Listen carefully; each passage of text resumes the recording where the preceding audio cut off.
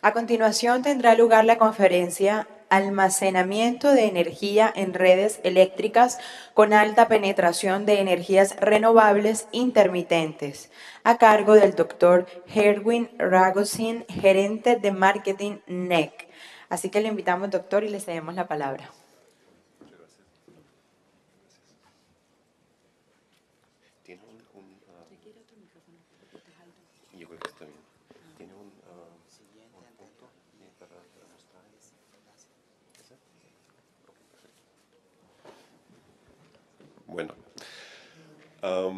Buenos días a todos. Muchísimas gracias a la Andy de darnos un espacio aquí para presentar un poco nuestra experiencia en el tema de almacenamiento de energía y explicar un poco las típicas aplicaciones que se usa con almacenamiento de energía en redes con alta penetración de energía renovable.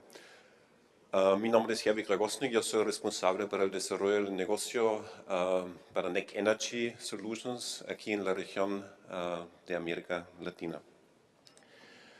NEC Energy Solutions es una sucursal 100% de la multinacional NEC, una empresa japonesa. para las personas que no conocen NEC, NEC es una empresa con 120 años de trayectoria, Uh, muy fuerte en todo el tema de tecnología de diferentes tipos, uh, telecomunicación, inteligencia artificial, um, uh, etc. Y dentro de sus productos también NEC compró el año 2002 la empresa A123 Systems en los Estados Unidos. Y A123 Systems um, era pionero en el tema de almacenamiento de energía con baterías de litio. Era la primera empresa que instaló proyectos comerciales uh, con baterías de litio. Um, bueno, NEC Energy Solutions uh, tiene su sede cerca de Boston, es un spin-off del MIT uh, en los Estados Unidos y es una empresa que ofrece soluciones AC coupled de almacenamiento de energía uh, con baterías de litio conectado al sistema eléctrico.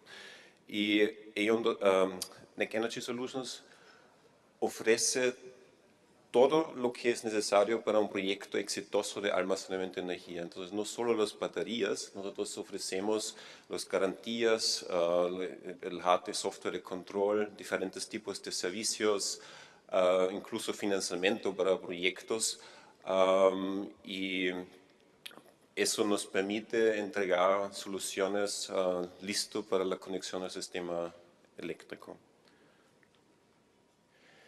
Dentro del portafolio de productos que tenemos, uh, tenemos soluciones, uh, aquí se ve un poco, um, soluciones pequeñas que son para telecomunicación, pero el um, um, fuerte de la empresa son soluciones a escala grande, son nuestras soluciones uh, Grid Storage Solutions, que son baterías que se conectan al sistema eléctrico.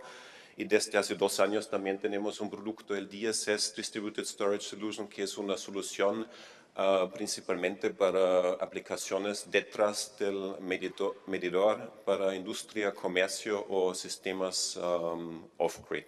Entonces, estos dos productos son uh, los productos principales.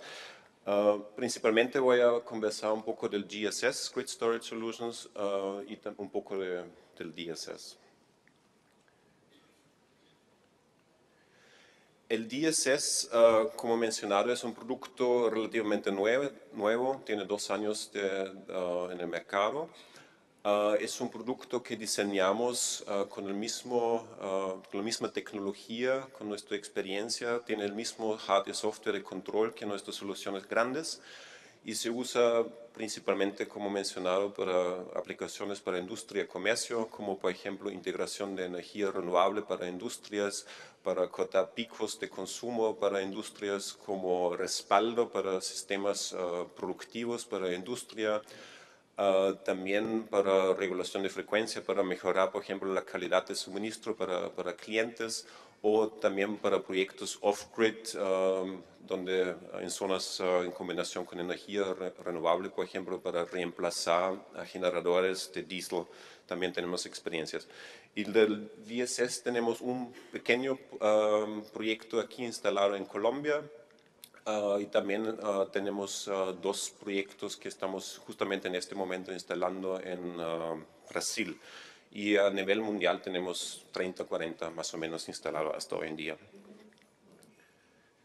El GSS, Grid Storage Solutions, es un producto um, que viene, el producto estándar viene en contenedores de tres diferentes tamaños y en esta lámina se ve un poco um, el producto estándar, nosotros podemos optimizar uno de estos uh, contenedores para una aplicación um, donde se necesita mucha potencia o el, otro uh, extremo sería donde optimizamos uno de estos contenedor, contenedores para una aplicación donde se requiere, requiere mucha energía. Y aquí se ve un poco los dos extremos que podemos poner en uno de estos contenedores.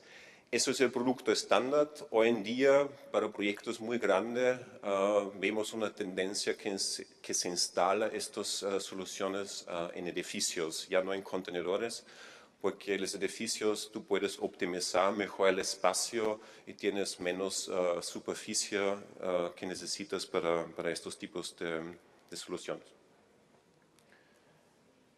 El GSS como mencionado, es un sistema uh, AC coupled que uh, incluye todo el paquete. Nosotros hacemos la integración uh, de, de, los, de los celdas um, y con nuestro propio diseño um, fabricamos los, los racks y lo integramos con nuestro propio hardware software de control y también con algunos elementos externos de proveedores como los inversores y el aire uh, acondicionado y eso es una solución uh, uh, listo para, para, la conexión. Y nosotros entregamos para este producto garantías NEC, entonces uh, el cliente no tiene una garantía para cada equipo extra de, un, de otro proveedor, nosotros uh, nos hacemos cargo de la, de la, garantía completa y cuando hay un problema nosotros uh, NEC da la garantía. Aquí se ve un poco los elementos claves que se uh, usa, que se integra para un sistema de este tipo. Uh, es la batería, GBS, Grid Battery System, uh, es el inversor y el sistema de control que integra estos elementos. Eso es un ejemplo de un proyecto del año 2012, de un proyecto bastante antiguo, pero igual interesante, uh, vea un poco. Se ve um, los contenedores para el almacenamiento de energía, se ve uh, los inversores, el aire acondicionado y el switchgear, el control, etcétera, la conexión al sistema eléctrico. Y este proyecto, por ejemplo, es interesante porque tiene 11 megawatt y 4.3 megawatt horas Uh, y hoy en día sería menos que la mitad, serían probablemente dos contenedores de almacenamiento, uh, porque el desarrollo tecnológico um, avanzó tanto que la densidad energética hoy en día es mucho mejor uh, y se requiere mucho, mucho menos um, espacio. Nosotros um, ofrecemos soluciones desde cientos de kilowatts de potencia hasta cientos de megawatt de potencia si es necesario. Uh, el proyecto más grande que instalamos hoy, hasta hoy en día tiene 50 megawatt. Es una batería que instalamos uh, este año en Alemania. Uh, es la batería más grande en, en Europa en el momento. Um, y se nota una tendencia a proyectos siempre cada vez más grande. Entonces, un proyecto que hace cinco años de 10 megawatt era muy grande, hoy en día un proyecto de 10 megawatt es un proyecto pequeño, es muy parecido al sector fotovoltaico, donde hace 10 años un proyecto de 10 megawatt era grande, hoy en día es, es un proyecto pequeño. Entonces se, se nota un, un, un, aumento de los uh, tamaños. Y del almacenamiento, de la capacidad de almacenamiento, uh, también soluciones desde un megawatt hora, el, G, el GSS hasta cientos de megawatt um, de almacenamiento. Y eso ya mencioné, el producto estándar viene en contenedores uh, o en, uh, si es necesario, en edificios. Bueno, quiero hablar ahora un poco de las aplicaciones relacion, uh, relacionadas al tema de las energías renovables. Um, ¿Por qué necesitamos almacenamiento de energía? Um, es una necesidad porque el cambio uh, en el sector eléctrico es muy importante. Antes uh, había generación muy central, hoy en día uh, la generación es cada vez más distribuida, tenemos fuentes intermitentes, entonces los redes eléctricos no están diseñados para este tipo de, de, de generación ni tampoco del consumo, tenemos los autos eléctricos, etc. Entonces, um, el almacenamiento de energía es una herramienta extremadamente potente para dar flexibilidad al sistema eléctrico y permitir que este cambio uh, del, del, sector uh, sea um, amigable para la estabilidad del sistema. El almacenamiento de energía se puede usar en toda la cadena del sistema eléctrico. Aquí se ve un poco las aplicaciones tipo, típicos uh, relacionadas a la generación, transmisión y distribución uh, del, del, del, sistema eléctrico. Lo que aquí no sale son las aplicaciones detrás del medidor o um, en redes um, aisladas. Entonces, um, cada estas aplicaciones tiene su propia economía y cuando clientes dicen sistemas de almacenamiento de energía son demasiado caros todavía, mi respuesta siempre es depende para qué se usa el, el almacenamiento de energía, porque cada uh, aplicación uh, tiene su, su propio, uh, sus propias reglas y nosotros, por ejemplo, instalamos el año 2009, 2011 los primeros proyectos grandes a nivel mundial en Chile, donde el cliente tenía un, un, un problema que quería resolver y en este tiempo con precios que eran más que tres veces de los precios actuales de, de los uh, sistemas de almacenamiento de energía, estos proyectos ya eran muy rentables. Entonces, uh, depende siempre de qué hablamos. Y es importante um, analizar caso por caso y uh, almacenamiento puede resolver muchos uh, problemas del sector eléctrico. En general se habla de dos diferentes tipos de aplicaciones cuando hablamos de almacenamiento de energía.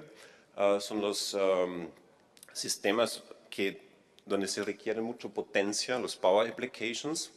Uh, eso es el origen de, esta tecnología. En el comienzo, hace 10 años, por ejemplo, uh, almacenamiento de energía era muy caro, entonces las baterías que eran viables tenían una duración muy corta, por ejemplo, de 15 minutos, 20, 30 minutos de, almacenamiento. Eso se, se, usaba las baterías para regulación de frecuencia, reserva primaria, uh, etc. y estos proyectos, por ejemplo, que instalamos en Chile, después voy a mostrar algunas fotos, um, tenían una duración de solo 20 minutos. Y con la bajada los, de los precios, um, cada vez aplicaciones con una duración más larga uh, se ponen rentables y esos son los uh, Energy Applications, donde se uh, almacena energía durante varias horas. Hoy en día se, se, dice aplicaciones con baterías de litio hasta 6 horas de, de, de, de duración son um, viable e interesante. Eso es, uh, uh, son uh, muchas aplicaciones relacionadas al tema de las energías renovables, como por ejemplo el, el time shifting um, o puntas, etc. Bueno, aplicaciones relacionadas al tema de las energías renovables, tenemos por ejemplo capacidad firme, la intermitencia de las uh, energías renovables como energía eólica, energía solar es un gran problema. Um, con almacenamiento de energía se puede, um, como se ve en esta, en esta uh, uh, ilustración, se puede evitar las fluctuaciones del, del suministro y por ejemplo, um, hay tendencias de uh, green PPAs, uh, donde clientes quieren un suministro uh, 100% renovable. Uh, por ejemplo, en Chile, donde yo, yo tengo mi oficina, Ah, hay clientes que ah, tienen energía am, eólica, energía solar y el cliente final quiere 100% energía renovable porque no se puede garantizar con estas dos fuentes, se agrega una batería am, y así se permite, se puede firmar un, un- un, ah, un Green PPA donde am, se puede garantizar 100% de, de energía ah, verde. Am, el vertimiento de energía, ah, también un tema muy importante en ciertas zonas donde hay restricciones de las líneas de transmisión.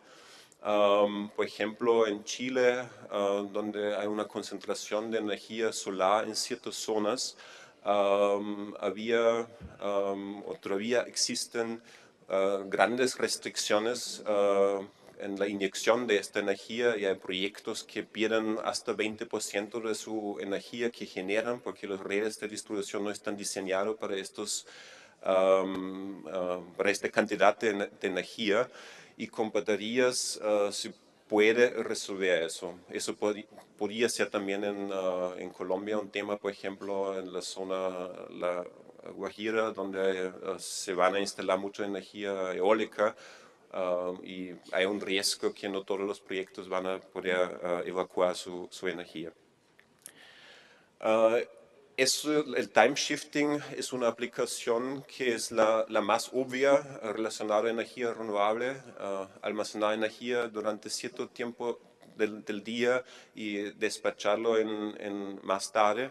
En este ejemplo se ve, ah, por ejemplo, que en, en muchas zonas del mundo, en Europa, por ejemplo, la generación ah, eólica durante la noche es ah, más fuerte, más, más grande y eh, el precio es muy bajo y no hay mucha demanda en la noche, entonces con baterías se puede hacer este time shifting.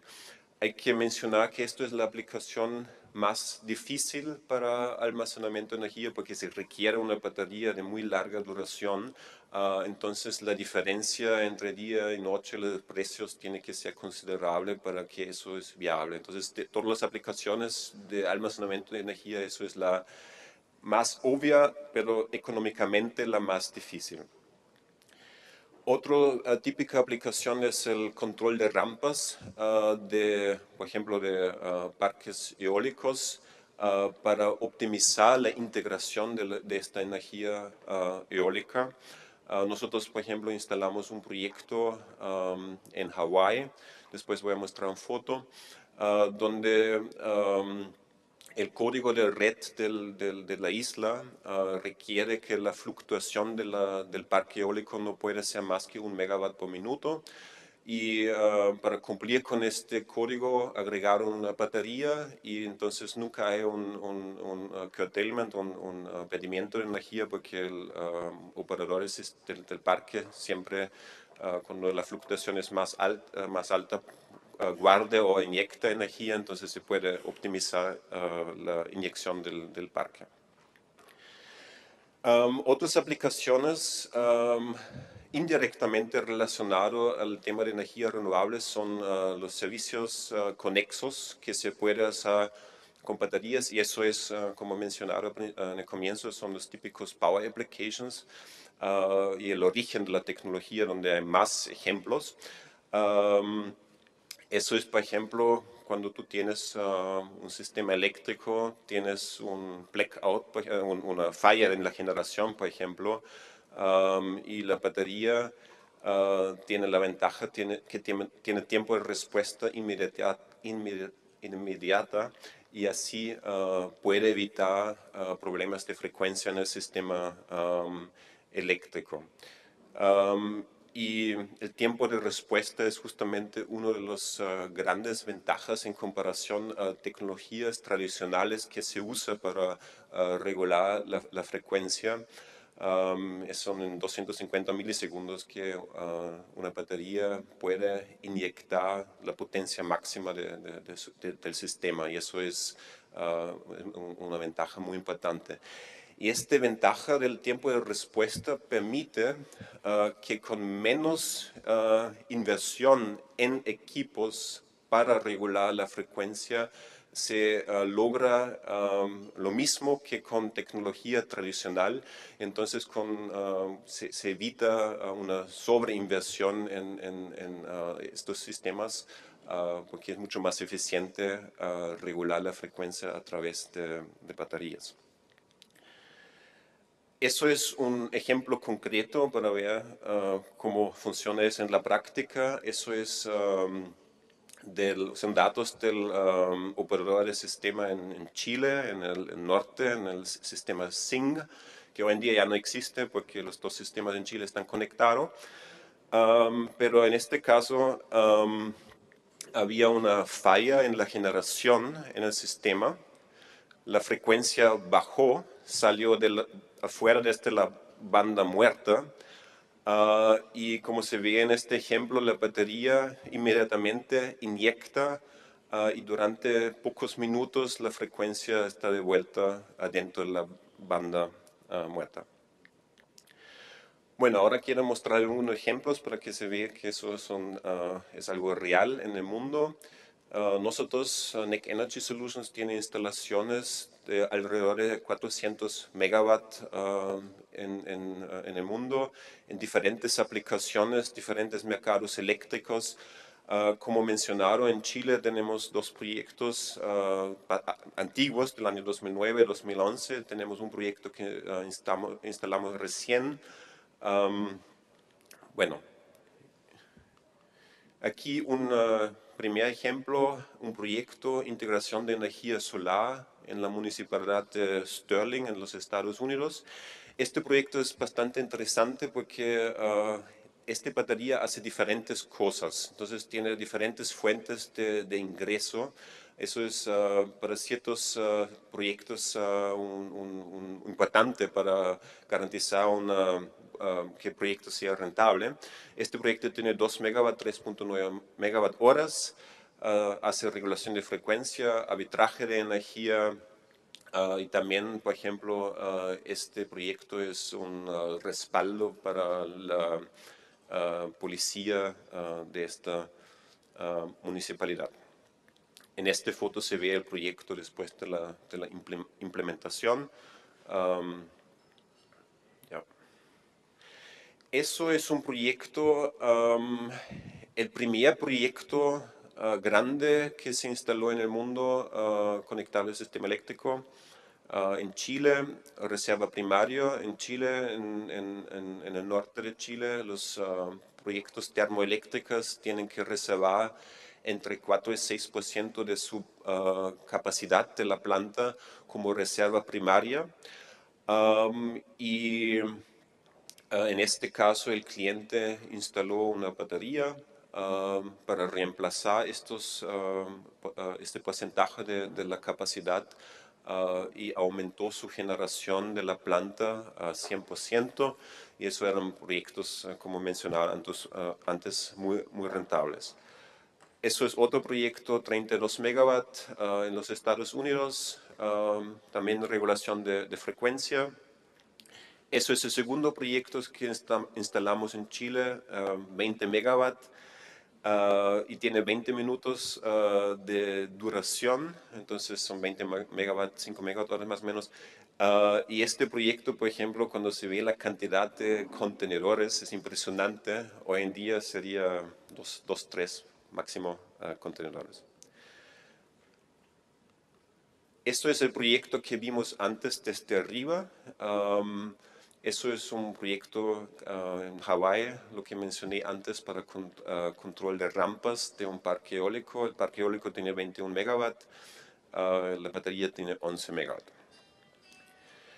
Esto es un proyecto muy pequeño, pero un buen ejemplo para mostrar que esta tecnología no es algo para grandes espacios, eso también se puede usar adentro de las ciudades, Ah, se puede diseñar la solución uh, según el espacio que es disponible.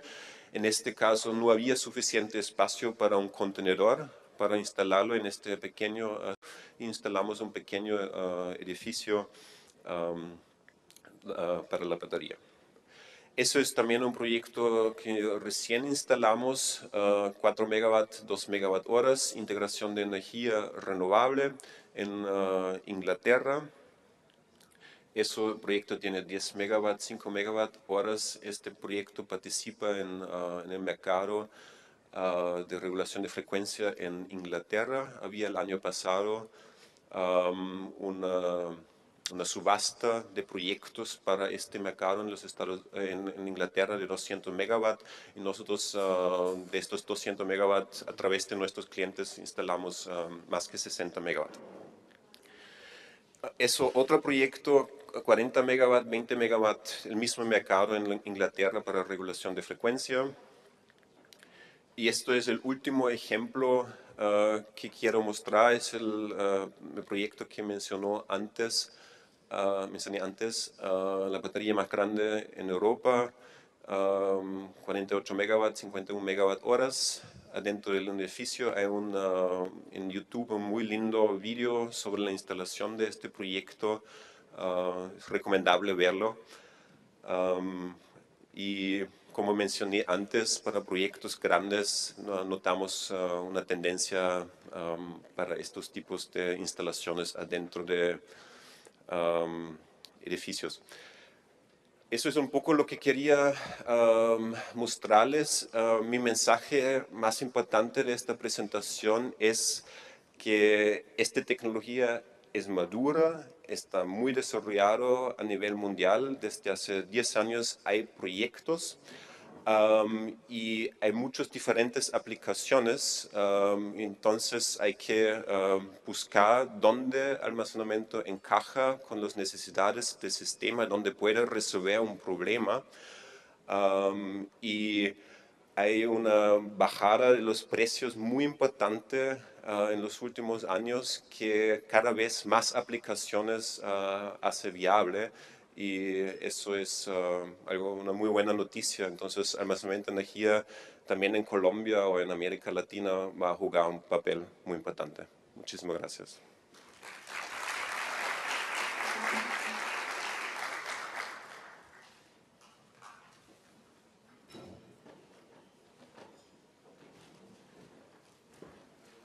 Si tienen preguntas, por favor, ahora es el momento.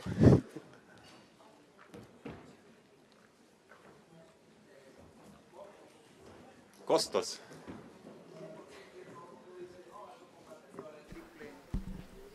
Eh, sí, un poquito sobre costos. Eh, tú dices que eso ha bajado mucho tanto en costos como en dimensionamiento, tamaños, pero pues quería un poquito sobre eso, ¿no? Y sobre todo hacia más hacia el futuro, ¿qué se espera? Um, costos, por supuesto, muy importante. Um, los precios, hay una economía de escala muy importante de estos tipos de proyectos. entonces, para nosotros como integrador, un proyecto de un megawatt o de 10 megawatt o de 50 megawatt es casi el mismo trabajo.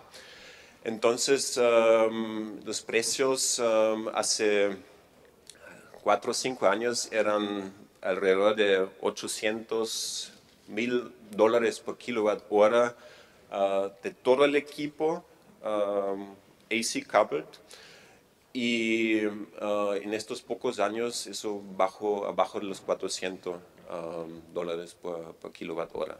Así, depende de qué tamaño hablamos, así hay una gran diferencia de los tamaños. ¿Alguien más? ¿Hay algo de fondo?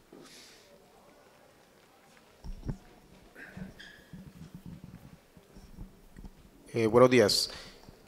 Yo quisiera conocer el tiempo de vida útil, bien sea en, horas de trabajo o en ciclos de estas baterías.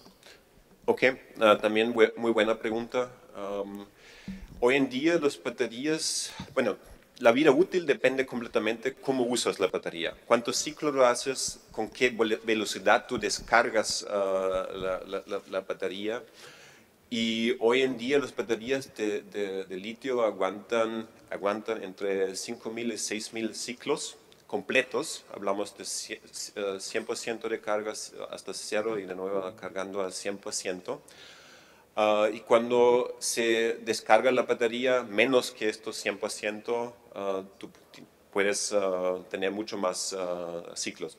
Entonces, ah, cuando usas la batería, por ejemplo, ah, con un ciclo por día, que ah, cuando hablamos de energía renovable es lo más, más ah, típico, por ejemplo, time shifting para un proyecto fotovoltaico, la vida útil es ah, 14, 15 años más o menos.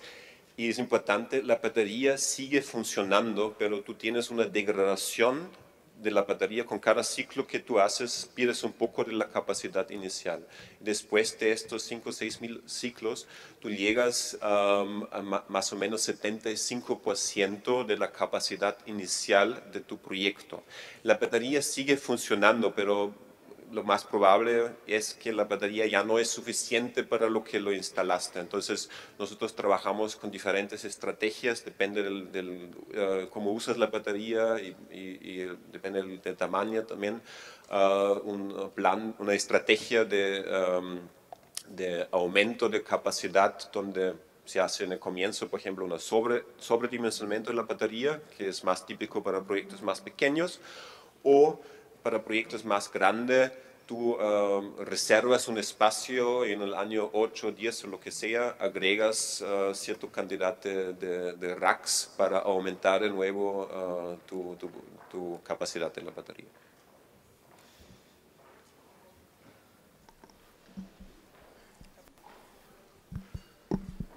Este, yo quisiera saber cuál ha sido cuál es uno de los riesgos más grandes que se pueden correr a nivel ambiental con las maquinarias que trabajan.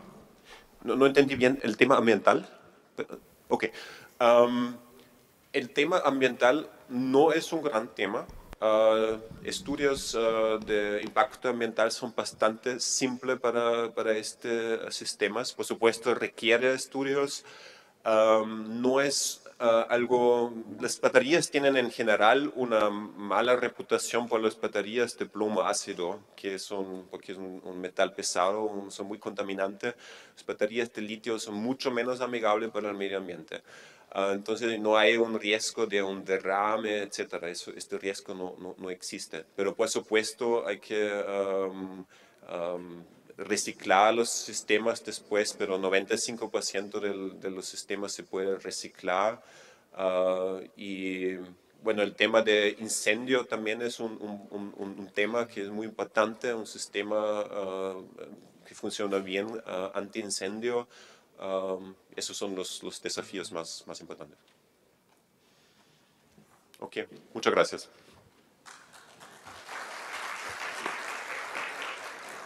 Gracias por su intervención.